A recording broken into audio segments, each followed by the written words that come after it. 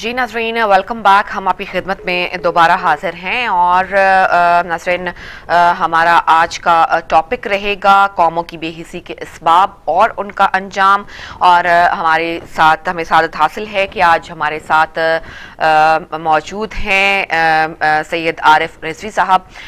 बहुत अरसे के बाद मेरे प्रोग्राम में जो है वो आरिफ साहब का जो है उन्होंने हमें ज्वाइन किया है। हम उनके लिए बहुत उनके बहुत शुक्रगुजार हैं क्योंकि हम इससे पहले बहुत हमने इनसे नॉलेज बहुत इल्म गेन किया और बहुत डेप्थ में जाकर जो है वो हमारे टॉपिक पर हमेशा इन्होंने डिस्कशन की है।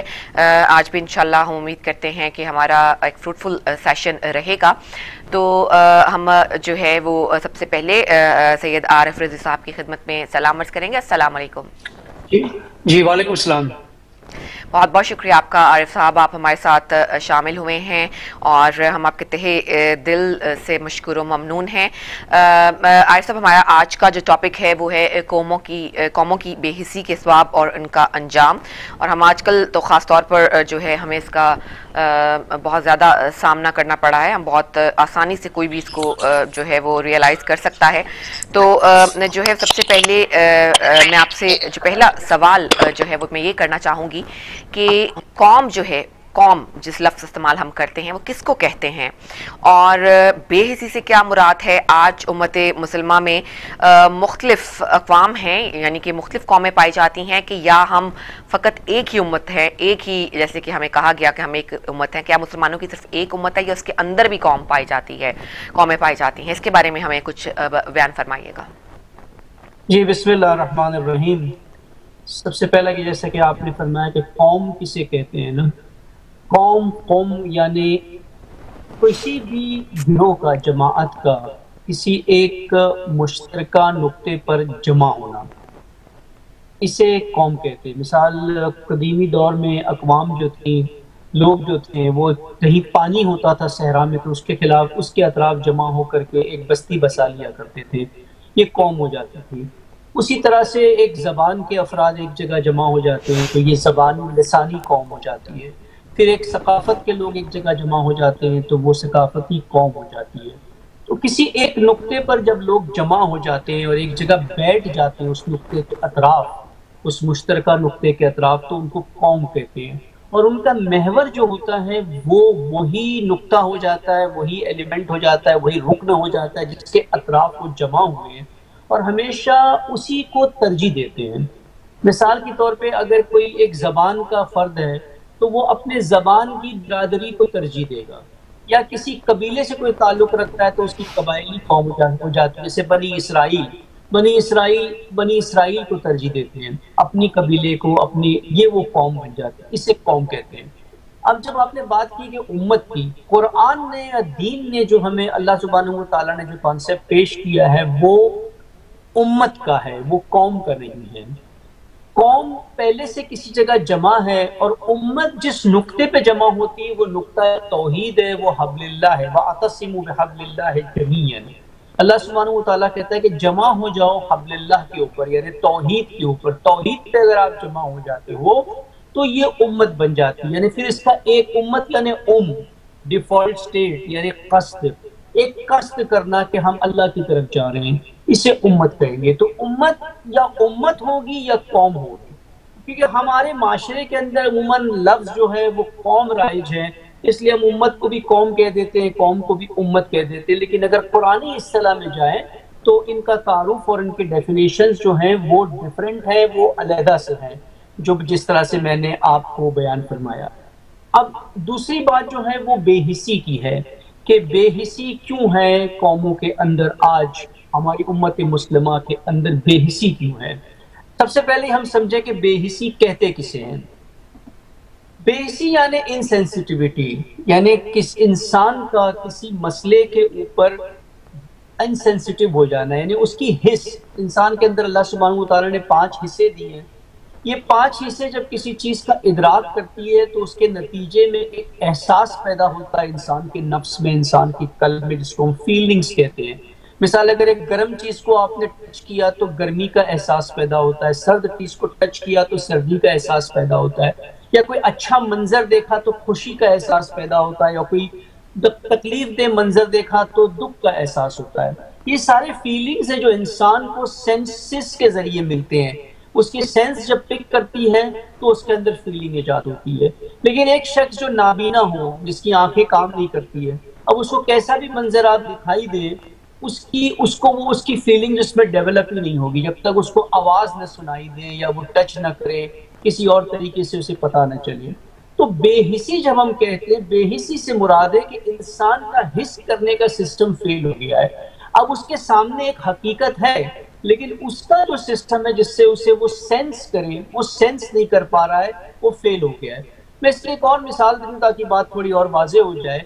जैसे कि आप सर्जरी में देखते हैं एनेस्थीसिया होता है। यानी जिसम के किसी एक हिस्से को काटना होता है। मिसाल आपके हाथ के अंदर कोई जख्म हो गया है उसकी माइनर सर्जरी करनी है, दांतों को निकालना है तो डॉक्टर पहले इंजेक्शन लगा करके उसको सुन कर देता है।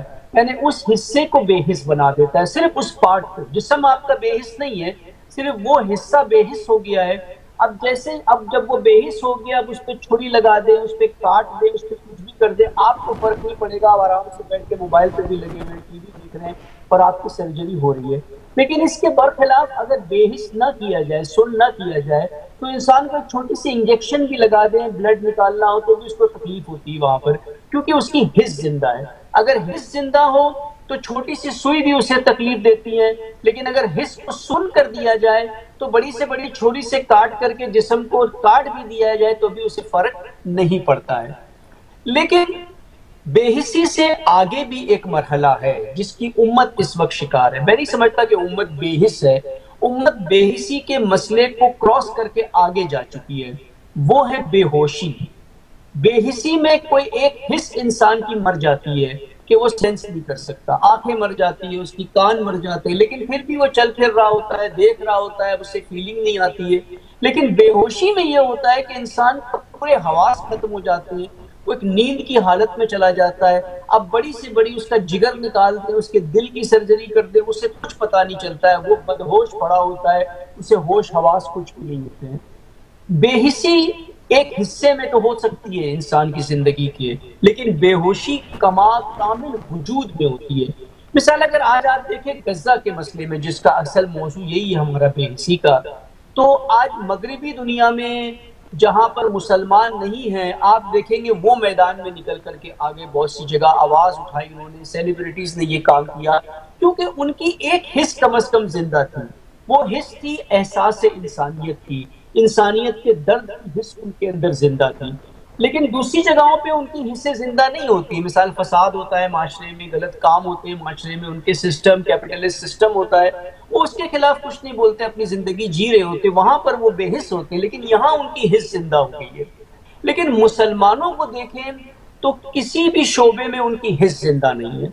खास करके हम अपने भाइयों को देखें, पाकिस्तान में तो पाकिस्तानी माशरा बेहोश माशरा है।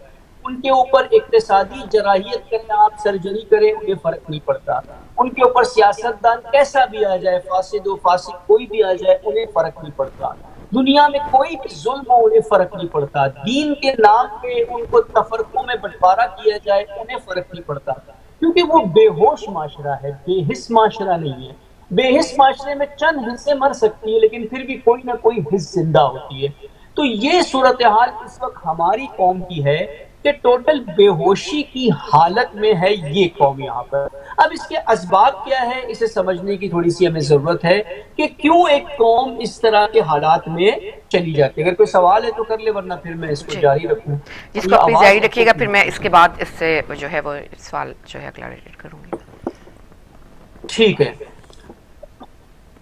अब ये क्वेश्चन ये बड़ा उठता है यहाँ पर कि क्यों ये हालत में कौम पहुँच जाती है? आखिर उसकी क्या वजह है कि कौम इतनी बेहिस हो जाती है और जो इनको सामने, आँखों के सामने इतना जुल्म हो रहा होता है? अभी ईद गुजरी है, उम्मत मुसलमान ने बेहतरीन तरीके से जगह जगह ईद मनाई होगी, यकीनन मनाई है ईद सबने खुशियाँ मनाई है, दावतें की है पार्टियाँ भी हुई होंगी और सब कुछ हुआ है, लेकिन दूसरी तरफ़ गजा में फ़लस्तीन में जो हो रहा है सर, ईद के दिन ही इसमाइल हानिया के तीन बेटों को शहीद कर दिया गया।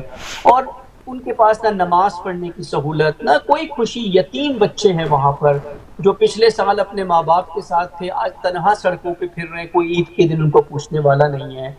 वो माएँ, हमारी माएँ अपनी बेटियों को चूड़ियाँ पहना रही हैं। उनकी माओ के पास मलबों के नीचे से बच्चियों के कटे हुए हाथ निकलते हैं, पिसे हुए हाथ निकलते हैं। ये सारे मनाजिर उम्मत मुस्लिम, दो मिलियन अफराद देख रहे हैं। लेकिन फिर भी हमने खुशी से ईद मनाई, हम अपने मसाइल में लगे हुए, हमें इसकी कोई फ़िक्र नहीं थी कुछ नहीं था। आखिर क्या इतनी इतनी बेहिसी क्यों आ गई? जबकि हमारे लिए बहुत क्लियर हिदायत कुरान ने भी दी और अल्लाह के नबी ने भी दी है कि आप एक उम्मत हो। और हदीस है, रिवायत है कि उम्मत मुस्लिमा की मिसाल एक जिसम की तरह है, जिसम के आज़ाद की तरह है। जब किसी एक हिस्से को तकलीफ़ पहुँचती है तो पूरे वजूद को तकलीफ़ पहुँचना चाहिए। मिसाल, आपको एक सुई पैर में चुपती है, कांटा पैर में चुपता है तो आपको तकलीफ़ महसूस होती है। ये नहीं कि सिर्फ़ पैर को तकलीफ़ महसूस होती है, पूरे वजूद को तकलीफ़ महसूस होती है। तो ये क्यों हुआ? इसकी वजह यही है कि हमारे आज़ा अब एक सिस्टम का हिस्सा नहीं रहे जिसम का हिस्सा नहीं रहे, वो कट गए। अगर यही किसी का पैर काट दिया जाए, काट के अलग कर दिया जाए, फिर उसको कितनी भी तकलीफ़ पहुँचाए, उसको फ़र्क नहीं पड़ेगा। वो उसके जिसम से अलग हो गया है जुदा हो गया है उससे। ये हमारा हाल हुआ है। इसकी एक सबब, अहम सबब जहाँ से हम शुरू करें कि इसबाब क्या है तो सबसे पहला सबब यही है कि हम हमारे अंदर उम्मत का तस्वुर नहीं रहा। हम अपने आप को एक उम्मत नहीं समझते हैं कि हम एक उम्मत है, हम एक जिसम का हिस्सा है। और हमें दर्द होना चाहिए। दर्द उस वक्त होगा जब जिसम का हिस्सा हो। आप डिस्कनेक्टेड हो गए हो। क्यों डिस्कनेक्टेड हो गए हम? किस क्या वजह है कि हम डिस्कनेक्टेड हो गए इस तरीके से? उसकी वजह अहम यही है कि जो दीन हमें पेश किया गया है, बुनियादी तौर पर, वो दीन जो है जामे दीन नहीं है। वो कॉम्प्रीहेंसिव सोशल रिलीजन नहीं है। वो एक इनफरादी दीन है। जिसमें हमें ये बताया गया है कि ये चंद वाजिबात है जो आपने करनी है। ये चंद महरमात है जिनसे आपको बचना है और उसके बाद आपको अल्लाह ताला मरने के बाद जन्नत दे देगा। ये हमारा एक दीन का बड़ा बेसिक सा कॉन्सेप्ट जो हमें बता दिया गया है कि दीन यानी इनफरादियत आप अच्छे काम करो, अच्छे अमल करो अपनी जात के लिए ताकि अल्लाह ताला मरने के बाद आपको अच्छी ज़िंदगी दे देगा। ये हमारा दीन का कॉन्सेप्ट है। दीन का कॉन्सेप्ट जामियत नहीं है कि आपने इंफरादी ज़िंदगी के साथ एक सोशल लाइफ भी गुजारनी है, जहाँ माशरे के मसाइल भी आपने ठीक करना है, क्योंकि माशरे के मसाइल के असरात भी आपकी इंफरादी ज़िंदगी पर होंगे। उसी तरह से होंगे जैसे इंफरादी गुनाह का असर होता है, वैसे इज्तमाही गुनाह का भी असर होता है। ये हमें डिस्कनेक्शन दिया गया यहाँ पर कि दीन सिर्फ़ जो है इनफरादियत है। इसे अगर हम अल्लामा इकबाल की जबान में कहें तो ये खानकी, खानकाई दीन है कि हमें एक खानका में, एक आइसोलेटेड जगह में रख दिया गया है। हमारा दीन शुरू होता है मस्जिद में और घर में आकर भी सिर्फ़ मुसल्ले पे दीन होता है, उससे हट करके दीन नहीं होता है। इसके बाहर हम अपनी ज़िंदगी गुजारते हैं। मिसाल तिजारत में हम जब बिज़नेस करते हैं तो कितना हम दीन के बारे में सोचते हैं कि मेरे बिज़नेस में मैं क्या हलाल कर रहा हूँ, किसका हक मार रहा हूँ, अपने एम्प्लॉयज़ के कितने राइट्स डिलीवर कर रहा हूँ यहाँ पर मैं क्या किस किस के मैंने हुकूक मारे, किसकी अदायगी मेरे ऊपर है, क्या है? मैं कम कीमत में बेच रहा हूँ, ज़्यादा कीमत में बेच रहा हूँ, मैं अपने कॉम्पिटिशन के साथ कैसे डील कर रहा हूँ? ये सारे उसूल हैं जो दीन ने बताए हुए तिजारत के, लेकिन हम इसकी परवाह नहीं करते। और इससे भी आसान आ जाए तो शादियों में देख ले हमारी। जब हम शादियाँ करते हैं तो दीन के मुताबिक नहीं करते हैं। नमाज़ पढ़ के आता है दूल्हा और दुल्हन शायद नमाज़ पढ़ के आते हो, अक्सर दुल्हन तो मेकअप करती है इतना कि नमाज़ भी पढ़ती है उस दिन निकाह के दिन। वो मेकअप में नहीं बिगड़ जाए इसलिए नमाज़ में नहीं जा सकती हैं वो। तो हम बिल्कुल जब शादी के में आते हैं तो दीन के सारे में छोड़ देते हैं। लड़का लड़की सिलेक्शन से लेकर के निकाह और निकाह के बाद वलीमा और रिसेप्शन कहीं दीन हमें नज़र नहीं आता। तो हमने दीन को ज़िंदगी के सोशल उमूर से निकाल दिया है, सिर्फ़ इनफरादियत पे ला करके रखा है। इस तरह का दीन जब आपके पास हो तो ये दीन आपको बेएतना बना देता है, यानी अनकंसर्न बना देता है। आपको किसी की परवाह नहीं होती। ये एक सेक्युलर दीन है, जो आज की इस्तेला में कहें तो एक सेक्युलर रिलीजन है, जहाँ पर दीन का इज्तमाहीत से कोई ताल्लुक नहीं है। सोसाइटी से कोई ताल्लुक नहीं है, सियासत से कोई ताल्लुक नहीं है, जुल्म सितम से कोई ताल्लुक नहीं है। किसी से हमारा कोई कंसर्न नहीं है। मैं सिर्फ़ अपने बारे में सोचूं कि मैं जन्नती हो जाऊँ किसी न किसी तरीके से। मेरे अमाल अच्छे हो जाए, मैं जन्नत में चला जाऊँ। ये दीन जब आप लेकर के आएँगे, इस दीन ने आपको कहीं भी उम्मत मुस्लिमा का दर्द पैदा नहीं करना है। ये नामुमकिन है कि ये दीन आपको अंदर हिस्स पैदा करेगा। क्योंकि जो प्रोडक्ट आपने दिया है, उसका आउटपुट वही निकलना है जो आपने प्रोडक्ट लिया हुआ है दीन के नाम के ऊपर। हाँ अब अगर वही जिसकी फितरत थोड़ी ज़िंदा है, उसकी फितरत उसे कह सकती है ये नाइंसाफी हो रही है, ये जुल्म हो रहा है, इसके खिलाफ कुछ आवाज़ उठा लो या थोड़ा बहुत बोल लो, कुछ करके आ जाओ। अदरवाइज़ उसका दीन उसको ये तालीम नहीं दे रहा है कि निकल के आना। उसके दीन में ये तालीम ही नहीं है। उसके दीन में अमर बिल मारूफ नहीं है, उसके दीन में नहीं अंदर मुनकर नहीं है। ये सब है ही नहीं उसके दीन के अंदर तो वो कैसे ये काम करेगा? तो ये हमारा एक तो फंडामेंटल सबब है कि जो दीन हमारे पास है वो नाप दीन नहीं है वो खालिश दीन नहीं है। वो दीन नहीं है जो रसूलुल्लाह सल्लल्लाहु अलैहि वसल्लम लेकर के आए थे जिन्होंने मस्जिद से बैठ करके सियासत की जिसने उम्मत को एक बनाया अंसार और मुहाजिर को एक कर दिया और उसके बाद दुश्मनों का मुकाबला किया और दीन को महफूज किया दीन की तबलीग की दावत इस्लामी को भेजा हर जगह। ये दीन हमारे पास मौजूद नहीं है। ए, अब ये क्यों एक प्लीज़ एक पॉइंट मैं यहाँ पे आपसे सवाल करना चाहती थी कि जो जैसे आपने कहा कि रसूलुल्लाह सल्लल्लाहु अलैहि वसल्लम ने मस्जिद में बैठ के जो है हर शख्स आम शख्स तो ये नहीं कर सकता लाइक जो ले मैन है ये तो किसी एक सर्टन तबके की क्या ड्यूटी है या फिर ये कि हर इंसान अपनी जगह पे ये काम कर सकता है? नहीं किस काम की आप बात करने के दीन की तबलीग की? दीन की तबलीग की और या जो हम एक एक एक, एक सेटअप करते हैं कि जिससे उम्मत की फ़िक्र की जा सके या जिससे कि कलेक्टिवली उम्मत के बारे में सोचा जा सके या कोई एक्शन लिया जा सके। देखिए अल्लाह ताला ने हर इंसान को उतना ही मुकल्लफ बनाया है जिसकी जितनी उसके अंदर इस्तेताद होती है। तो आज के दौर में ये कहना कि हम वो काम नहीं कर सकते जबकि डिजिटल दुनिया सोशल मीडिया पर आप बैठे हुए हैं तो आप बहुत कुछ कर सकते हैं आज के दौर में, उम्मत मुस्लिमा के लिए, उम्मत बनाने के लिए, उम्मत साजी के लिए। उम्मत साजी में आज सबसे बड़ी रुकावट क्या है हमारी? सबसे बड़ी रुकावट उम्मत बनने में तफरका है, फिरके है। तो क्या हम फिरके फिरका वारियत को खत्म नहीं कर सकते? कर सकते खत्म।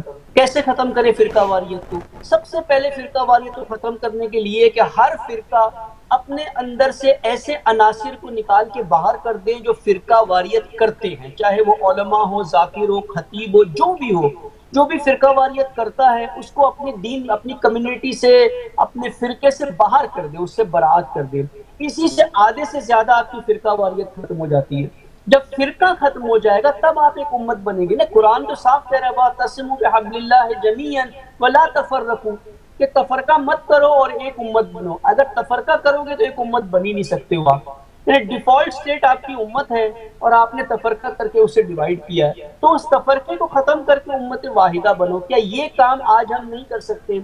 हम सोशल मीडिया से फिरका फैला सकते हैं। तो सोशल मीडिया से वहदत नहीं फैला सकते हम। बिल्कुल फैला सकते हैं अब ये सारे काम हो सकते हैं आज के दौर में। क्या हम ग्राउंड में, क्या हम अहले सुन्नत शिया की मस्जिद में जाके नमाज़ नहीं पढ़ सकता, क्या शिया सुन्नी की मस्जिद में जाके नमाज़ नहीं पढ़ सकता? क्यों नहीं पढ़ सकता? बिल्कुल पढ़ सकता, किसी ने नहीं रोका है। क्या जाके उनसे अच्छे डायलॉग नहीं कर सकता, अच्छी बात नहीं कर सकता? क्यों नहीं कर सकता? क्यों हमारी महफिलों में अहले सुन्नत क्यों नहीं आ सकते? अहले सुन्नत जाकिर क्यों नहीं आ सकते? आलिम क्यों नहीं आ सकते? हमारी मजलिसों में आ सकते हैं।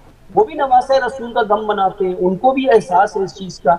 हमने खुद दरवाजे बंद किए सारे फिरकों ने, मैं एक की बात नहीं कर रहा हूँ, सारे फिरकों ने अपने आप को महदूद किया हुआ है, एक तकून में डाला हुआ है कुएँ के मेंढक बने हुए उससे बाहर निकलना ही नहीं चाहते। तो ये काम हो सकता है, ये कोई मुश्किल काम नहीं है वहदत करना। जब रसूल अल्लाह ने सौ साल से एक कौम, जो दो कबीले जो लड़ रहे थे, उनको एक कर दिया तो क्या हम एक नहीं हो सकते यहाँ पर? हो सकते हैं। और फिरका वारियत जब तक खत्म नहीं होगी, तब तक ये मसाइल उम्मत के हल भी नहीं होंगे। आज अगर गजा और फलस्तीन के मसले में सिंपल एनालिसिस ले ले, सिंपल, ज़्यादा कोई दिमाग नहीं लगाना है, इस पर ज़ोर नहीं देना है, कि हर शख्स अपने फिरके के आलिम के हुक्म के लिए बैठा होता है कि वो क्या कहता है, मुझे ये देखना है। अगर वो फतवा दे दे कि मुझे बाइकआउट करना है तो मैं बाइकआउट करूँगा। वो फतवा दे दे कि मुझे कुछ प्रोटेस्ट में आना है तो मैं प्रोटेस्ट में आ जाऊँगा। अगर वो खामोश है तो मैं भी खामोश हूँ। मेरा मेरा मेरा मिसाल, मेरा लीडर खामोश है, मेरा मर्जा खामोश है, मेरा आलिम खामोश है, मेरा मौलाना खामोश है, मेरा मुफ्ती खामोश है तो मैं क्यों बोलूँगा यहाँ पर? हम अंधी तकलीफ़ जो कर रहे हैं ना अपने फिरकों के सरपरस्तों की, ये मसला है हमारा कि हम एक उम्मत नहीं बन सकते कभी नहीं बन सकते अब उम्मत। क्योंकि उम्मत बनने का पैगाम कुरान देता है, फिरके का मौलवी नहीं देता उम्मत बनने का पैगाम। उसकी उसकी तो बका फिरके में है। फिरके के सरपरस्त की दुकान फिरके से चलती है। उसकी कुरान से नहीं चलती, उसकी वैदत से नहीं चलती है। अगर सारे एक हो जाएँगे तो फिर क्या होगा? ये सारी इतनी इतनी छोटी छोटी दुकानें जो खुली हुई है, हज़ारों फिरके जो बने हुए इसका क्या होगा इनके सरपरस्तों का फिर? तो वो तो कभी नहीं चाहेंगे ये काम करना। और जब तक ये काम हम नहीं करेंगे हम इस फिर, फिरकों से बाहर निकल के एक उम्मत नहीं बनेंगे तब तक हम हमारे अंदर एहसास और हिस्स जो है ये पैदा नहीं हो सकती हमारे अंदर। क्योंकि रुकावट सबसे बड़ी वो सरपरस्त है जिनकी हम भेड़ चाल करते हैं जिनकी हम अंधी तकलीफ़ करते हैं ब्लाइंड फॉलोइंग करते हैं। हम ये नहीं देखते कुरान क्या कह रहा है? कुरान एक तरफ़ क्या पैगाम हमें दे रहा है? हम ये देखते हैं कि फिरके का मौलवी हमें क्या कह रहा है? कुरान कह रहा है, वहदत फिरके का मौलवी कहता है, तफरका, हम उसके पीछे चलते हैं। कुरान कहता है कि जब मासूम बच्चे और औरतें तुमको निदा दे रहे हो कि कोई है जो हमारी मदद करे, कोई जो है जो हमारा वली बने, हमारा नासिर बने तो हम देखते हैं कि मेरा मौलवी क्या कह रहा है? क्या मुझे ये हुक्म दे रहा है? वो भी जो कुरान हुक्म दे रहा है। हम कुरान के हुक्म के पाबंद नहीं होते, हम फिरके के सरपरस्त के हुक्म के पाबंद होते हैं। हम उसके पीछे चलना चाहते हैं। वो जो कहेगा, मैंने वही करना है। और उसने किसकी बात सुननी है? उसने हुक्मरानों की बात सुननी है। हाकिम जैसा कहेगा, उसने वो करना है। हाकिम की जिसमें रजा होगी, उसने वो करना है। अभी मैं सिंपल मिसाल दू आपको। अभी ईद का दिन दो दिन पहले गुजरा। मैं एक जगह जुमा नमाज़ पढ़ने, ईद की नमाज़ पढ़ने गया। किसी ने मुझे बताया कि बड़े अच्छा मरकज है, नजरियाती लोग होते हैं, अच्छे जवान होते हैं। यहीं पर आप जाए नमाज़ पढ़ने। तो मैं पूरा खुतबा जो है वो ईद का, ईद मुस्लिमा है, मुस्लिमीना ईदा, नौ मरतबा आपने कुनूत में पढ़ा कि ये ईद मुसलमान की है। और पूरे खुतबे के अंदर एक जुमला भी मजलूमीन के लिए नहीं बोला गया। एक जुमला भी कि आज फलस्तीनी कैसी ईद मना रहे होंगे, उनके लिए हमें क्या करना है? कुछ भी नहीं। तो ये जो बेहिसी ऐसी नज़र आती है कि हमने सोच के रखा हुआ है कि ये दीन जो हमने अपनाया है, इबादतों का, रोजों का, नमाजों का, ये काफ़ी है हमारे लिए। यानी मजलूमीन के लिए आवाज़ उठाना, मजलूमीन के लिए बोलना जो है, ये ऑप्शनल है। लेकिन हम ये भूल जाते बहसीत शिया कि जनाब जैनब सलाम ने कूफे के बाज़ार में जब देखा, उनको रोते हुए तो क्या किया उन्होंने? उनको अप्रिशिएट किया कि आप बड़े नमाजी हो मेरे भाई के लिए रो भी रहे हो। उनको तंबी की उनको तनकीद की कि वाय हो तुम्हारे ऊपर। तुम अब रोते हो, जब हम निदा दे रहे थे, उस वक्त कोई नहीं आया हमारी मदद करने के लिए। अब तुम गिरिया करते हो यहाँ पे। रोते रहो, सारी ज़िंदगी रोते रहो। तुम मक्कार हो, तुम गद्दार हो, तुम फरेबी हो। तो ये नमाजें, ये रोज़े जो हमने रख ली है, और एक ईद के दिन भी हम मजलूमों के लिए चले, मैं नहीं कहता कि आप ऐसी बात करें, एक्सट्रीमिस्ट। लेकिन आप कम अज कम मजलूमों के लिए तो उनकी, उनका तो एहसास ईद के आने वाले मुसलमानों के दिलों में पैदा करें कि क्या हो रहा है वहाँ पे, हमारी क्या ज़िम्मेदारी बनती है। यानी इतना भी अगर न किया जाए, मौलवी अगर इतना भी न करे तो कैसे हम तो रखते हैं कि ये सौ अफराद, दो सौ अफराद जो नमाज़ में आए, ये वहाँ से मजलूमीन का दर्द लेके निकलेंगे? ये तो सुन होकर के निकले बाहर के, बस जक़ात दे दो, फितरा दे दो, बड़ी नेकी है इसमें, अल्लाह तुम्हें इतने अजर देगा, इतना सवाब देगा। वो तो खुश होकर निकला है वहाँ से कि मुझे तो सब कुछ मिल गया। लेकिन वो भूल गया कि उसकी असल ज़िम्मेदारी क्या थी, क्योंकि मौलवी ने बात ही नहीं की उस ज़िम्मेदारी के बाद तो ये हमारा असल एक कजिया है यहाँ पर कि दीन नाब जो है इज्तमाही दीन जो है, ये दीन ने नहीं दिया और ये वही काम किया जो बनी इसराइल के ने किया कुरान बनी इसराइल के ओलमा के जराइम को पेश करता है। एक कितमान हक के इन्होंने हक को छुपाया। सारा दीन नहीं पेश किया। जो तौरात में था, उसको नहीं पेश किया। उसमें तहरीफ की, दो, उसमें तहरीफ की। उसको तोड़ मरोड़ के अपने मुताबिक पेश किया। तीन, हक को, बातिल को मखलूत किया बनी इसराइल के उलमा ने। क्लियर नहीं किया लोगों के सामने कि क्या हक है, क्या बातिल है। चार का अल्लाह तश्तर समन कलीला। दीन को बेच दिया। फतुओं को बेच दिया, थोड़े से फ़ायदे के लिए हराम को हलाल किया, हलाल को हराम किया। ये काम बनी इसराइल के ओलमा ने किया, जो आज हमारे सारे उम्मत मुस्लिमा के फिरकों के मौलवी यही काम कर रहे हैं। आज हलाल और वाजिब क्या है? उम्मत मुस्लिमा में मजलूमीन फलस्तीन के लिए आवाज़ उठाना, ये वाजिब है, वाजिब, ये ऑप्शनल नहीं है। लेकिन इसी को हमने मुबाह कर दिया है कि जिसका दिल में आए, कहें, जिसके दिल में आए, ना कहें। जबकि एक वाजिब अम्र था यहाँ पर, जिसको हमने तर्क कर दिया। एक अमर बिल मारूफ था, जिसको हमने तर्क कर दिया यहाँ पे, क्योंकि ओलमा ने नहीं बताया कि ये करना भी है कि नहीं करना है यहाँ पर।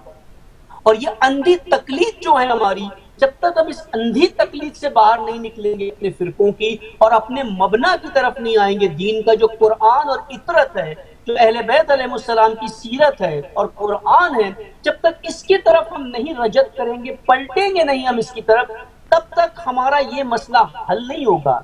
और इसका नतीजा आज देख ले कितनी जिल्लत है। इसराइल गजा को नाबूद करने के बाद रुकेगा नहीं। वो लिबनान में जाएगा, वो सीरिया में जाएगा, वो इराक में जाएगा, वो ईरान में जाएगा हती कि ये अरब ममलिकतें भी उसी के हाथों नाबूद हो जाएगी। क्योंकि वो दुश्मन आपके दीन का है। कुरान कहता है कि यहूद और नसारा तुम्हारे दोस्त नहीं हो सकते, तुम्हारे वली नहीं हो सकते, जब तुमसे राज़ी नहीं हो सकते, जब तक कि तुम उनके दीन पे ना आ जाओ। यानी अपना दीन छोड़ दो आप, तभी वो तुमसे राज़ी होंगे। तो मुसलमानों को या अपना दीन छोड़ना पड़ेगा, या नाबूद होना पड़ेगा, या उसे नाबूद करे जो आपको नाबूद करना चाहता है। तो ये काम तो हमने नहीं करना है। तो अब क्या होगा? आखिर नतीजा यही होगा कि हमें दीन छोड़ना पड़ेगा, या हमें मारे जाना पड़ेगा, सबके पीछे आएगा। ये बेहिसी का ये नतीजा, ये अजाब है जिसके अंदर हम मुब्तला हो गए। ये वो सख्तियाँ जिसमें इस वक्त हम मुब्तला हो गए और ये तेज़ी से बढ़ रही है। अब वो दौर नहीं है कि दस साल के बाद क्या होगा दस दिन के बाद क्या होगा, आपको पता चल जाएगा क्या होने वाला है अगले दस दिनों के अंदर। तो ये इस टाइप का सिचुएशन है। ये अहम असबाब है इसके कि जो हमारे साथ हुआ है कि अंधी तकलीफ़ फिरकों की फिरका वारियत जिसने हमें इस्लाम नाब मोहम्मदी से दूर कर दिया इसलिए अब दूसरे और भी इसके अहम असबाब अगर फुर्सत हुई तो मैं उसकी तरफ़ जाता हूँ कोई सवाल है जी मैं ये चाहती कि आप थोड़ा सा मैं इसको क्लियर कर दें कि सोशल और पॉलिटिकल बेहिसी में क्या फ़र्क है क्या डिफरेंस है? इसको थोड़ा सा डिफ्रेंशिएट कर देंगे तो हमारे लिए बाकी चीज़ें समझना भी आसान हो जाएँगी। देखिए सोशल और पॉलिटिकल बेहिसी बस एक टर्म को आप अलग कर रहे हैं ना। असल तो सोशल बेहिसी है। हम्म। बेहिसी से मुराद ये होता है कि आपके सामने हक को पामाल किया जा रहा है। चाहे वो किसी भी तरह का हक हो चाहे किसी की जान ली जा रही हो या किसी का माल खा लिया जा रहा हो किसी के साथ ज्यादती हो रही हो आपकी आँखों के सामने ये हो रहा है हक यानी साबित शुदा। एक चीज़ साबित शुदा है वो आपके सामने कॉम्प्रोमाइज हो रही है। और आप उसको नजरअंदाज कर जाते हैं, आप उसको इग्नोर कर जाते हैं। ये है सोशल बेहिसी कंप्लीटली कि सोशली आपके आपके हमसाये के साथ किसी ने ज्यादती की, कोई आके उसको मार रहा है बेदर्दी से, आप खड़े रह के तमाशाई बन के देख रहे हैं। या किसी का माल आपके खानदान में किसी ने लूट लिया है, आप जानते हैं, लेकिन आप खामोश आपको क्या पड़ी, उसका चला गया आपके पड़ोसी की गाड़ी चोरी हो गई, आपने देखा मेरी गाड़ी तो अपनी जगह खड़ी है ना, ठीक है आई डोंट केयर ये सोशल बेहसी है कि आपको माशरे में इंसानों की, मुसलमानों की किसी की कोई परवाह नहीं है, सिर्फ़ अपनी फ़िक्र होती है सेल्फिशनेस होती है कि मेरा है। अब पॉलिटिकल बेहिसी भी सोशल बेहिसी का हिस्सा ये है कि सियासी, सियासत की वजह से जो मुश्किल माशरे में पैदा हो रही है, उससे बेहिस हो जाना। मिसाल सियासतदान आपके साथ ऐसा काम कर रहे हैं कि आपका खून चूस रहे हैं टैक्स के हवाले से। आप उस पर बेहिस है जो करते करने दें। आपके बिजली के बिल बढ़ाए जा रहे हैं तेज़ी से, आप बेहिस है उसके ऊपर। या सियासतदान ऐसी पॉलिसी अपनाते हैं कि फलस्तीन में जुल्म हो रहा है, लेकिन वो बजाय इसके कि फलस्तीन की मदद करे बहसीत मुसलमान ममलिकत वो इसराइल की मदद कर रहे हैं। ये पॉलिटिकल बेहसी है कि यहाँ पे उम्मत खामोश बैठी रहे यहाँ पर। ये सियासी बेहसी है कि सियासत में की वजह से जो नाइंसाफी और हक की पामाली हो रही है, चाहे वो जुल्म के सितम में हो या माली हकूक हो या जो भी हो, उसके खिलाफ हसासियत न दिखाना सेंसिटिविटी न दिखाना, ये पॉलिटिकल बेहसी जो सोशल बेहसी का ही एक हिस्सा है यहाँ पर। आई होप ये क्लियर हो गया होगा। बिल्कुल। अभी आप कह रहे थे कि आप तो, इस बात पे जो। है जो नतज हैं उस पर बात करना चाहेंगे। आ, साथ में आपको इंटरप्ट नहीं करना चाहते इसलिए मैं थोड़ा सा आपसे आगे ये भी कह दूँ। पूछ लूँ कि जो है अगर आ, इनका जो नतीजा होता है चाहे वो सोशल हो या वो पॉलिटिकल हो तो क्या एंड रिज़ल्ट जो है एंड जो इसका कॉन्सिक्वेंसेज हैं रिपोकशन हैं वो सब एक जैसे ही होते हैं? क्या दोनों ही जो है वो डेटरमेंटल होते हैं उम्मत के लिए कौम के लिए माशरे के लिए? बिल्कुल देखें इसबाब तो अपनी जगह है, ये जो असरात की बात हम कर रहे हैं ना, ये कुरान ने बहुत क्लियर मिसाल दी है सारी कौमों की कि हर कौम में जो मुख्तलिस किस्म के फसाद थे, एक बिल्कुल फार्मूला है कुरान का, बहुत सिंपल फार्मूला है जिससे हम कहते हैं कि सुनन इलाही है, अल्लाह की सुनन। एक कौम है जिसके अंदर गलत काम हो रहे हैं, कोई भी गलत काम हो रहे शोएब की कौम में इकतदी गलत काम हो रहे हैं, लूत की कौम में शहबाती गलत काम के हो रहे हैं फिर की कौम के अंदर जो है वो जुल्म सितम हो रहा है उस कौम के अंदर एक हादी आता है, अल्लाह ताला भेजता है किसी हिदायत करने वाले को। वो हादी आके उनको मुतवजह करता है, उनको बेदार करता है, उनकी हिस्स को ज़िंदा करता है। चंद अफराद जो है, उससे कबूल कर लेते हैं उस पैगाम को, बाकी कबूल नहीं करते हैं। अल्लाह सुबहान उस नबी को, उस हादी को और उन चंद अफरादों को नजात दे देता है, बाकी सबको गर्क कर देता है। बाकी सारे के सारे अजाब में, सख्तियों में मुबतला होकर के नाबूद हो जाते हैं। ये कॉमन सुनने इलाही है जो कुरान में। अल्लाह सुबहान किसी कौम को उस वक्त तक के हलाक नहीं करता, जब तक उसकी हिदायत का एहतमाम ना हो, जब तक उसकी गाइडेंस का इंतज़ाम न हो। और गाइडेंस हर दौर में होती है हतमन मिलती है, हम सबको हिदायत मिल रही है इसके ऊपर। तो अब यहाँ पर ये उसूल है इस इस सुनन के तहत जो हमारी जिम्मेदारियाँ जहाँ हमें बेदार होना था, हम नहीं होते हैं तो at the end of the day हमारी तबाही नाबूदी है डेफिनेटली इसमें कोई शक ना करे कि नहीं होगा। यानी वो जिल्लत, वो डिस्ग्रेस हमें उठानी पड़ेगी। अब ये किस नोयत की होगी, ये फ़र्क पड़ता है। यानी अजाब से मुराद हम समझते हैं कि आसमानों से पानी गिर आए, ज़मीन सैलाब आ जाए या जलजले आ जाए, ये अजाब है। नहीं, ये अजाब सिर्फ़ ये नहीं होता। अजाब यानी अरबी में कहते हैं सख्ती को सख्ती को हार्डशिप को। किसी भी कौम को सख्ती में चले जाना। इमाम सादिक सलाम की हदीस है कि हर माशरे के अंदर चंद चीज़ें ज़रूरी होती है, जिनमें एक अमनीत है सिक्योरिटी है और खिसाम है। यानी एक कंफर्टेबल लाइफ है जिसमें ज़िंदगी की ज़रूरत है उसे मिलनी चाहिए, दीन की तालीमत में से। हम समझते हैं, दीन कहता है कि आपको फकीरी में और मिसकीनी में ज़िंदगी गुजारनी नहीं, दीन की टीचिंग्स ये नहीं है।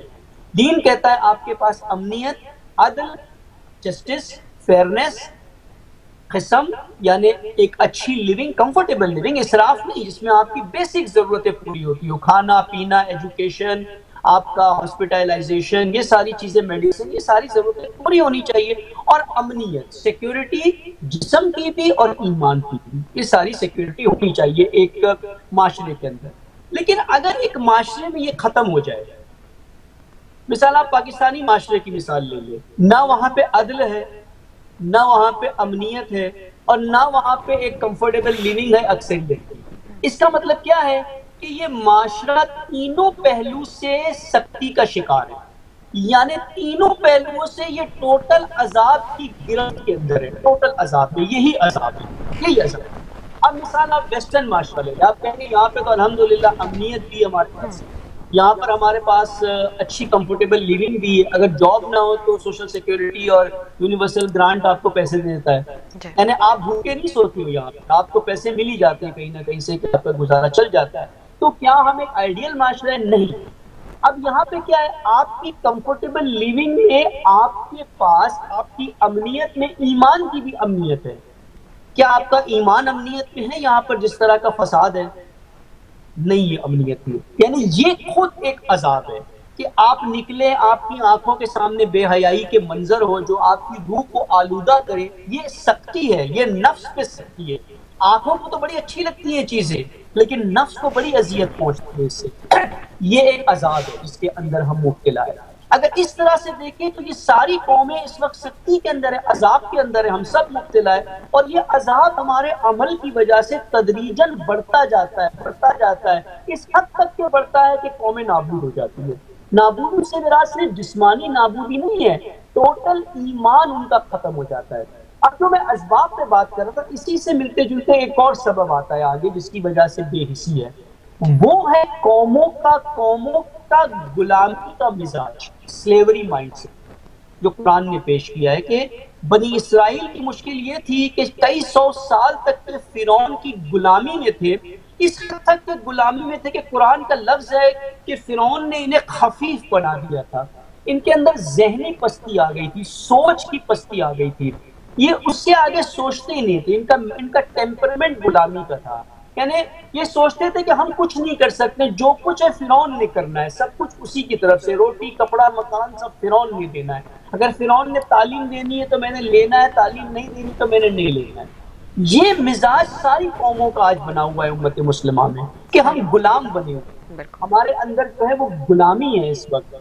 हम सिस्टम्स के गुलाम बने हुए फर्द के गुलाम नहीं है इस वक्त। सिस्टम्स ने हमें गुलाम बनाया आप इकतसादी निज़ाम देख लें बैंकिंग सिस्टम आप बैंकिंग सिस्टम के गुलाम हैं इस वक्त। बैंक आपको जैसा चाहे कर सकता है। बैंक आपके इंटरेस्ट रेट बढ़ा दे बैंक आपके मॉडगेज रेट बढ़ा दे बैंक आपको मॉडगेज न दे घर लेने के लिए कुछ नहीं कर सकते आप। बैंक आपके पैसा रखने से इनकार कर दे आज। आप क्या करेंगे? आप बैंकिंग सिस्टम के गुलाम है। आप एजुकेशन सिस्टम के गुलाम है। जो तालीम वो देना चाहेंगे, वो आपने अपने बच्चों को दिलानी है। उससे हट करके आप कुछ नहीं कर सकते हैं। तो सारे सिस्टम्स में देख के हम गुलाम बने और हमारी सोच वैसी हो जाती है जैसे वो चाहते हैं। आज मिसाल पाकिस्तान में बैठा हुआ हर फर्द चाहता है कि मैं अमेरिका चला जाऊँ, इंग्लैंड चला जाऊँ, क्योंकि गुलामी की सोच है। सत्तर साल हुए उस गुलामी से आज़ाद होकर लेकिन आप वॉलेंटरली उस गुलामी को कबूल करने के लिए तैयार है। तो टोटल कौम हमारी गुलामी के अंदर है। पॉलिटिकल सिस्टम हमारे देखे हमारे इस्लामी नहीं है। हमने डेमोक्रेसी ले लिए बाहर से। यानी हमने सारे सिस्टम दूसरों के लिए उसके डोमिनेंस में आ गए। ये एक बड़ा सबब है कि हमारे अंदर इस्तलाल नहीं है, हमारे अंदर आज़ादी नहीं है, हमारे अंदर हुर्रियत नहीं है, जिसकी वजह से हम खफीफ हो गए, पस्त हो गए। जब सोच पस्त हो जाती है इंसान की तो अमल भी पस्त हो जाता है। अब जब वो खुद गुलाम है तो वो दूसरों की आज़ादी के लिए कैसे आवाज़ उठाएगा? वो तो फलस्तीन की आज़ादी की कैसे आवाज़ उठाएगा जब वो खुद गुलाम है, उसकी नफ्स गुलाम है, उसका जहन गुलाम है, उसकी सोच गुलाम है, उसकी वैल्यूज़ गुलाम आना है सारी? तो वो नहीं कर सकता। ये एक सबब है बहुत बड़ा, कि हमारी थिंकिंग चेंज करनी होगी हमें हमें गुलामी से बाहर निकलना होगा। जब हम गुलामी से बाहर निकलेंगे, आज़ाद हो जाएँगे, तब हम दूसरों की आज़ादी के लिए तहरीक चलाएँगे, तब हम दूसरों के लिए आवाज़ उठा सकते हैं। गुलाम थोड़ी गुलाम को आज़ाद करा सकता है, जो खुद जंजीरों में जकड़ा हो दूसरे की जंजीरें कैसे खोलेगा? ये एक बड़ा सबब है यहाँ पर। अब इसी को जोड़ दे एक और मसले से आगे, जो बहुत अहम मसला है, जिसके ऊपर हमारा, जिसका गलबा है, जिसने हमें बड़ा गुलाम बनाया हुआ है, वो है हुब दुनिया। हमारे अंदर दुनिया की ख्वाहिशात बहुत ज़्यादा है। हमारे अंदर तमा और हिरस है। हर चीज़ हम चाहते हैं कि ज़्यादा से ज़्यादा हमें मिले। कनात नहीं है हमारे अंदर। यानी कंटेंटमेंट नहीं है। कंटेंटमेंट का मतलब होता है कि कम से कम पे राज़ी हो है मिनिमम मिल जाए मेरे लिए काफ़ी। है नहीं, मुझे ज़्यादा से ज़्यादा चाहिए। सिंपल मिसाल है, आप सुपरमार्केट जाते हैं दूध और अंडा लेने के लिए। कितनी मरतबा आप सिर्फ़ दूध और अंडा लेकर के आते हैं? आपकी हाँ। ट्रॉली पूरी भरी होती है और घर आके पता चलता है दूध तो मैंने लिया ही नहीं था वो तो रह गया। बाकी सारी चीज़ें ये ऐसे ही होता है ना क्योंकि ये हुब्बे दुनिया है। हर चीज़ मुझे अट्रैक्ट करती है मैं पिक करके डाल देता हूँ। हर चीज़ मुझे अट्रैक्ट करती है मैं पिक करके उसको डाल देता हूँ। ये हुब्बे दुनिया है हमारे अंदर। हमें अच्छी हॉलीडेज चाहिए हमें एक गाड़ी होगी जो चल रही है नहीं अब मॉडल चेंज करना है। घर अच्छा है थोड़ा सा और बड़ा घर चाहिए। हर दिन शॉपिंग करनी है फ्राइडे सेल लगा है फला सेल लगा है ये सारी हुब्बे दुनिया है। हुब्बे दुनिया वसाइल में है, हुब्बे दुनिया शहवत में है, हुब्बे दुनिया सवारियों में है, गाड़ियों में कुरान कहता है ना, शहवत जो है तुम्हारी वो औरत में है, माल में है और घोड़ों में है, यानी सवारियों में है राइडिंग कार्स के अंदर। ये हुब दुनिया ने जो हमें असीर बनाया हुआ है ना, ये बहुत बड़ी गुलामी है। जब इंसान देखता है कि अच्छा मैं फलस्तीन के लिए आवाज़ उठाऊँगा, बाहर निकल के अच्छा पुलिस मुझे देख लेगी, फिर मेरे वीज़ा का क्या होगा, फिर मेरे फला का क्या होगा, ये क्या है? ये खौफ किस लिए? ये हुब दुनिया है कि मेरी दुनिया चली जाएगी यहाँ पर। ये एक बड़ा सबब है हमारे लिए कि हम अपनी दुनिया को कॉम्प्रोमाइज नहीं करना चाहते। और ये कैसे हो गया एक मोमिन के लिए? मोमिन क्यों इतना होपे दुनिया के पीछे चला गया? उसकी वजह ये ये तालीम, तालीमी सिस्टम माशरे का सिस्टम लिबरल सिस्टम जिसने हमें दौड़ में लगा दिया है मटेरियलिज्म की। क्योंकि हमारे माशरों की फिलोसॉफी क्या है? प्लेजर कि जितना हो सके ज़िंदगी से लज्जत उठाओ। मैक्सिमम प्लेजर उठाओ अपनी लाइफ से। हम प्लेजर उठाने की दौड़ में लगे हुए हैं। हम ये नहीं देखते हैं कि हमारी रूह की ज़रूरत क्या है। हम जिस्मानी जरूरतों को पूरे से पूरा बेहतरीन तरीके से करना चाहते हैं, लेकिन रूह की जरूरतों को हम कॉम्प्रोमाइज कर देते हैं, जिसके नतीजे में रूह मुर्दा हो जाती है डेड हो जाती है और इंसान एक चलती फिरती ज़िंदा लाश बन जाता है यहाँ पर, एक हैवान हो जाता है। जिस तरह से बकरी को देखें, आप गाय को देखें तो वो जहाँ भी जाएगी, उसको सब्जा दिखेगा, वो उसको मुँह मार लेगी। उसका पेट भरा हो या खाली हो, उसने मुँह मारना ही मारना है। हमारा यही हाल है। एक जवान है, हर जगह से निकलेगा, जहाँ औरत दिखेगी, उसकी नज़र टिक जाएगी। औरतें निकलेंगी, जहाँ शॉपिंग पे कोई चीज़ दिखेगी, नज़रें उनकी टिक जाएगी। मर्द नेट पे बैठे होंगे, ये गाड़ी दिखी, उस पर नज़रें टिक जाएगी। तो ये सारी चीज़ें हुब दुनिया है, और ये हुब दुनिया जब तक हमारे कल्ब में से नहीं निकलती, क्योंकि उस कल्ब में अल्लाह नहीं आ सकता, जिस जिस कल्ब में दुनिया यानी पस्ती हो, पस्त चीज़ों की ख्वाहिशात हो उस कल्ब में अल्लाह नहीं आ सकता क्योंकि अल्लाह ला शरीक है। अल्लाह शरीक को कबूल नहीं करता। और जब तक कल्ब में अल्लाह नहीं आएगा, तब तक ला इलाहा इल्लल्लाह नहीं आएगा। ला यानी ताबूत का इनकार। जब तक ला नहीं आएगा, कल्ब में ताबूत का इनकार नहीं आएगा फमई फिर ताबूत नहीं आएगा, वो कैसे उन मजलूमीन के लिए आवाज़ उठाएगा जो ताबूत उस पर जुल्म कर रहे हो? तो ये एक टोटली एक चेन सिस्टम है। आप हर चीज़ों को लिंक करके देखें तो एक सबब नहीं इसको हम कह सकते हैं कि जिसकी वजह से आज हमारी ये हालत है। ये सारी इंटरलिंक है आपस में। कि हमारे अंदर गुलामी है, हमारे अंदर हुब दुनिया है, हमारे अंदर फिरकावारियत है। और सबसे बढ़कर वो दीन, वो इस्लाम, जिसने हमें इन सब चीज़ से निजात दिलाने के लिए जो आया था, जो वैल्यूज़ को लेकर के आया था, ना उसकी हमें तालीम दी गई, ना उसकी हमें तरवीज की गई, ना वो दीन हमारे अंदर रासिक किया गया। यानी हमारे हमारे कायदीन, जिन्होंने हमें दीन सिखाया है तो दुरुस्त दीन नहीं सिखाया। नाकिस दीन सिखाया इनकम्प्लीट दीन सिखाया, जिसकी वजह से आज हमारे हालात इस तरह के बने हुए हैं कि सत्तर हज़ार से ज़्यादा शहीद हो गए लेकिन उम्मत मुस्लिमा के अंदर एहसास नहीं पैदा होता। उम्मत मुस्लिमा चाहे तो एक दिन में ये जंग रुका सकती है, लेकिन वो कुछ भी करने के लिए तैयार नहीं है यहाँ पर। थोड़े बहुत प्रोटेस्ट हम कर लेते हैं, थोड़े बहुत नारे लगा लेते हैं, वो भी चंद अफराद, गिने चुने अफराद बहुत ही लिमिटेड जिनके अंदर थोड़ा गैरत जागती है वो सोशल मीडिया पे आवाज़ उठा लेते हैं, कुछ क्लिपे फॉरवर्ड कर देते हैं, लेकिन अक्सरियत को देखें तो उन्हें कोई परवाह नहीं है। इसका आप सर्वे कर ले, मैं अभी लंदन में देखता रहता हूँ। शायद मुश्किल से मुझे चार या छह जगह पे फलस्तीन के झंडे नज़र आए होंगे, किसी दुकान पे या घर पे लगे हुए, मुसलमानी इलाकों में। हम इतनी भी हिस्स नहीं, हमारे अंदर कि एक फलस्तीन का झंडा अपने घर के ऊपर लगा दें। ताकि कम से कम आने जाने वालों को पता चले कि एक मौजू को ज़िंदा तो रखे, लोगों को सोचने पे तो वो करे, वो भी हम नहीं करते, क्योंकि हमें डर लगता है कि ये लगा दूँगा तो पता नहीं काउंसिल वाले आके मुझे निकाल देंगे यहाँ से। ये क्या कर रहे हैं?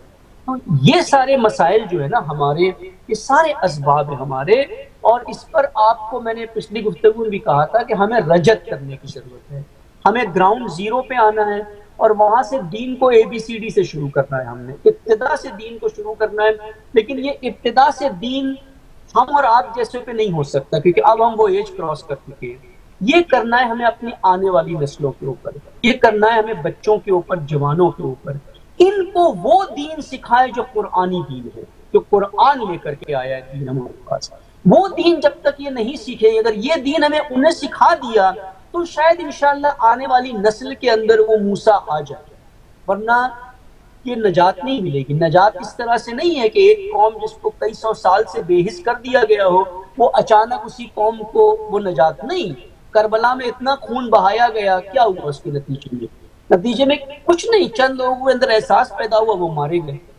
तो ये एक सिस्टम के तहत चलता है। एक सिस्टम के आपको फॉलो करना होगा। और सिस्टम का तकाजा यही है कि कौमों में जब बेहसी पैदा हो जाती है, फिरौन का जब माहौल बन जाता है, जहाँ पर औरतों के साथ बेहयाई हो रही हो, जहाँ मर्दों को बच्चों को कत्ल किया जा रहा हो, वहाँ एक मूसा पैदा होता है। एक मूसा चाहिए आपको वहाँ पर।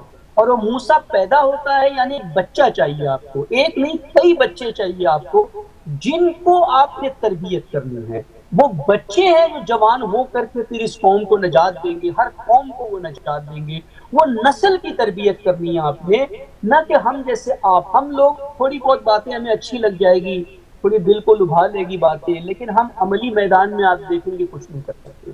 अमली मैदान में वही करेगा जिसको आपने सही से तैयार किया है, तरबियत की है ट्रेन किया है। एक मूसा को अल्लाह सुबहान तला ने फिरौन के घर में रख के तरबियत की। फिर शोएब के पास नौ साल रखा, फिर खिजर के पास भेजा।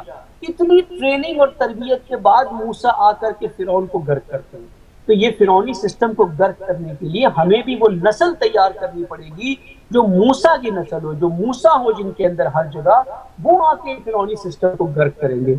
अभी हम जो तो लगा करके बैठे हैं वो शायद उस तरह से पूरी नहीं हो सकती, क्योंकि सारे इसबाब अवाबिल मैंने कुछ आपके सामने भी पेश किए हैं कि जो इस इस तरह से, ये सारे इसबाब कुरान से आपको नज़र आ जाते हैं कुरान में जाए, मुतालिया करें, सब कुछ आपको मिल जाता है, वहाँ से कुरान ने सारी चीज़ें पेश की हमारे सामने।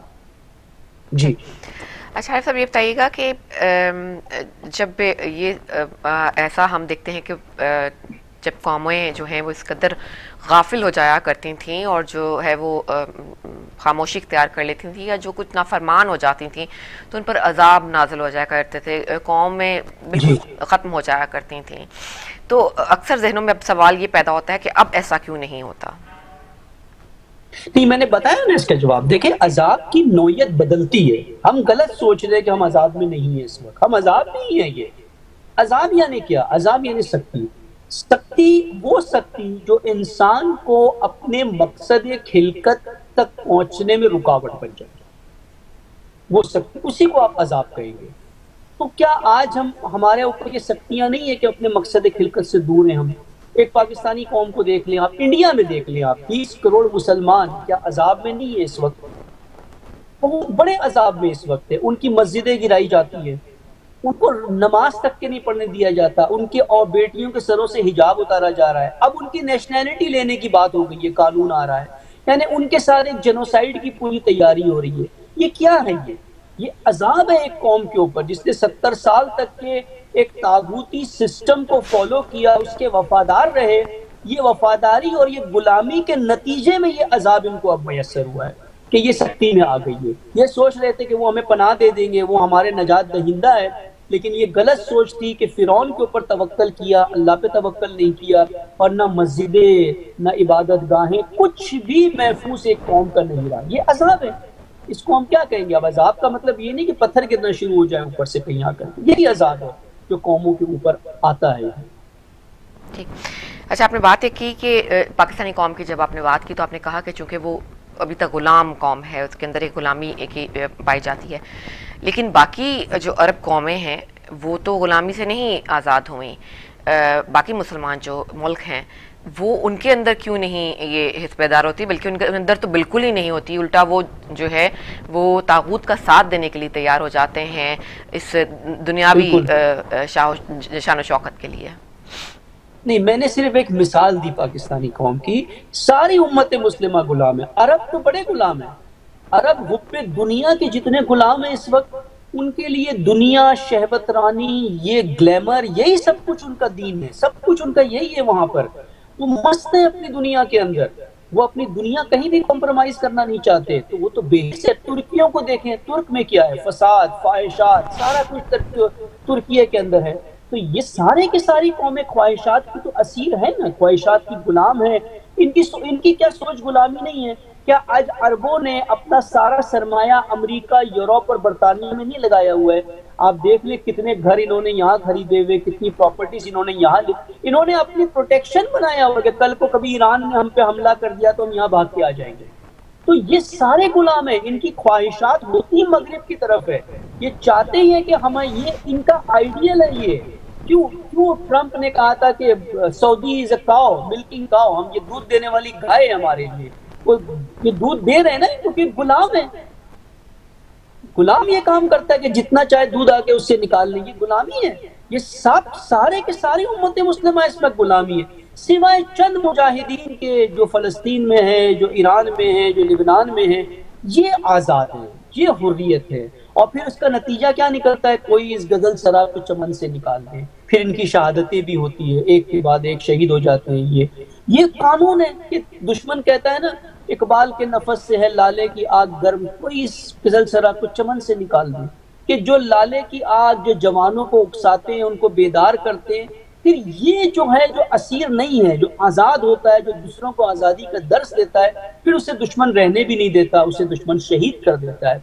तो ये सारे के सारे मिसाल, वो वाक्य है ना, अभी इसको समझने के लिए मैं वही मिसाल दे दूँ मामू काजिम की, कि वो एक गली से गुजर रहे थे, एक जगह से गाने की आवाज़ आ रही थी।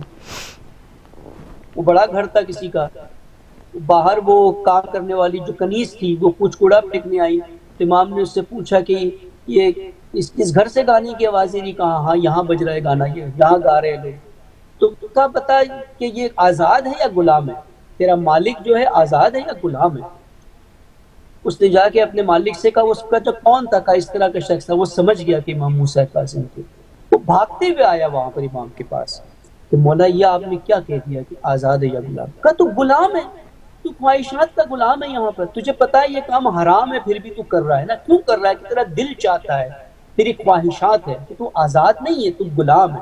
तो ये सारे के सारे उम्मत मुसलमान में हम सब गुलाम है, किसी न किसी की नोयत हमारी गुलामी में हमें हुर्रियत चाहिए, हमें आज़ादी चाहिए और सबसे पहले अजहान की फ़िक्र की आज़ादी चाहिए, सोच की आज़ादी चाहिए। जब तक सोच आज़ाद नहीं होगी, हमारे अमल आज़ाद नहीं हो सकते, हमारे कल्ब आज़ाद नहीं हो सकते। हमारी थिंकिंग फ्री होनी चाहिए।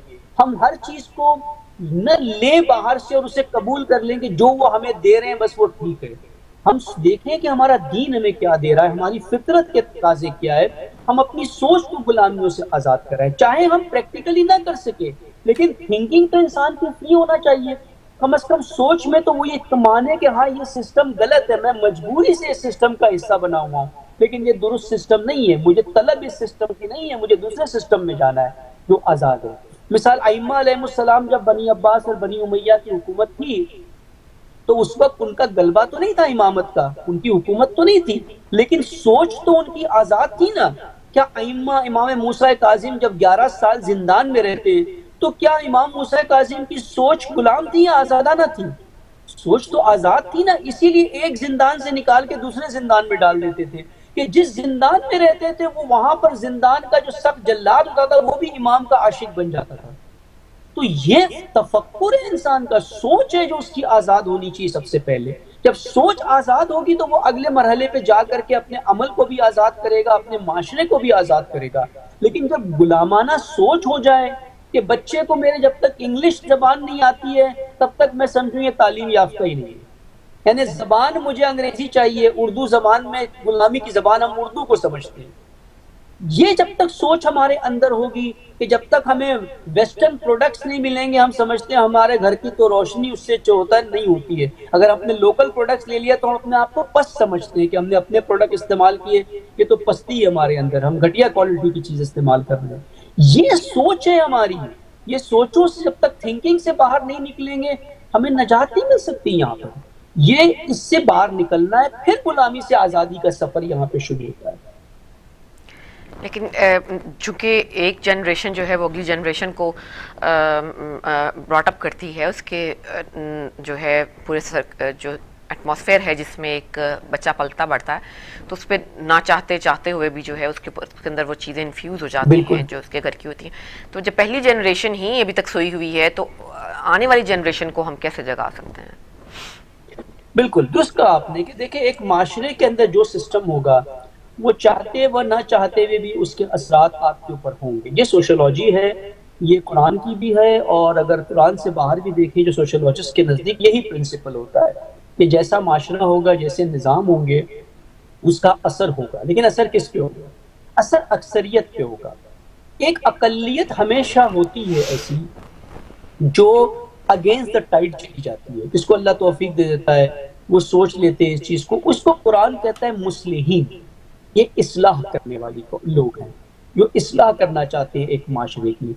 ये मुस्लिहीन का काम होता है कि वो आने वाली नस्ल को उस तरीके से तैयार करे।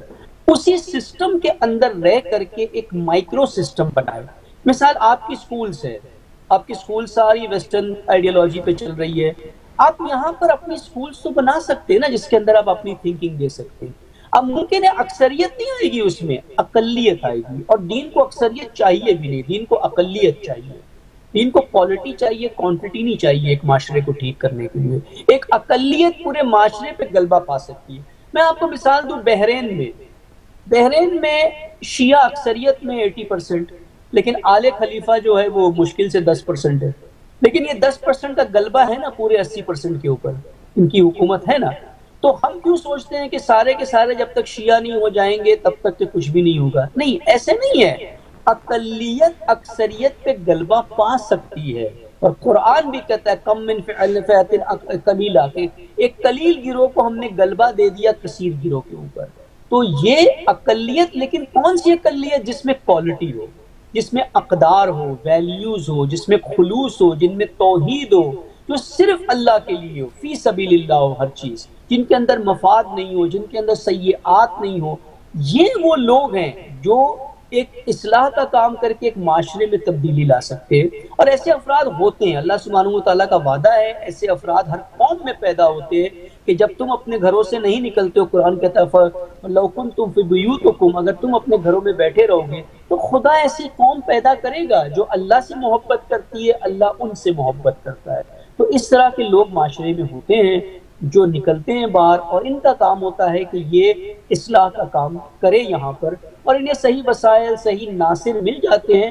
तो फिर जैसे मूसा को नास, नासिर मिल गए हारून मिल गया अल्लाह से तलब किया मुझे नासिर चाहिए अल्लाह ने दे दिया। तो ये मुस्लिम भी जब अल्लाह से तलब करते हैं कि हमें नासिर दे तो अल्लाह इनको नासिर देता है। फिर ये काम करके माशरे में तब्दीली ले आते हैं। जैसे कि इमाम खुमैनी रहमत ने एक माशरे के अंदर जो फिर से भी बदतर माशरा था, बनी इसराइल से भी बदतर माशरा था, जहाँ अमेरिकन कुत्ता अगर किसी को काट ले तो ईरानी उसको पत्थर भी नहीं मार सकता, उसको सजा हो जाएगी। उस माशरे के अंदर इमाम खुमैनी ने उस माशरे को बेदार करके इतना बड़ा इनकलाब लेकर के आ गए और उस उस, तक, उस तख्त को सब चीज़ों को पलट दिया वहाँ से। न सिर्फ़ शाह को बल्कि जो मगरबी ताकतें थी वहाँ पर उन सबको बाहर कर दिया वहाँ से। तो ये काम अल्लाह सुबहान कर सकता है अगर ऐसे मुसलहीन मौजूद हो वहाँ पर जिनको अल्लाह नासिर दे देता है। तो यहाँ मायूसी की बात नहीं है कि हम मायूस हो जाएँ कि एक नस्ल एक माशरा ऐसा है तो हम क्या कर सकते? नहीं। हम कर सकते हैं ये काम। एक अकलियत इस काम को अंजाम दे सकती है और वो तब्दीली आ सकती है। बहुत बहुत शुक्रिया आरिफ साहब आपका। बहुत ही माशाल्लाह से अच्छी गुफ्तगु रही और मेरा ख्याल है कि ज़रूर और नहीं तो एक दफ़ा ज़रूर सोचेंगे सही हमारे अवाम हमारी नाजरीन हमारी उम्मत हमारी कौम कि हम किस जगह खड़े हैं हम इस वक्त सिर्फ़ और सिर्फ़ अपनी ज़ात की गिरद ही चक्कर निकाल रहे हैं और जो एक एज ए मुसलमान जिसको हम उम्मती कहते हैं हम अपने आप को तो वो हम उसका किरदार क्या निभा रहे हैं। तह दिल से आपके मशक्र ममनून जजाकल्ला खैर और अल्लाह ताला से आपके लिए बहुत सारी बहुत शुक्रिया। जी नादिन हमारे साथ मौजूद थे आरिफ रिजवी साहब, जिनके हम तहदिल से मशहूर ममनून हैं कि वो हमारे साथ आज शामिल हुए। प्रोग्राम का वक्त जो है वो अब ख़त्म हो चुका है। इन ज़िंदगी और सेहत रही तो मेरी और आपकी मुलाकात मंडे की सुबह होगी। आप अपना बहुत सा ख्याल रखिएगा और अब मुझे इजाज़त दीजिए। अल्लाह हाफ़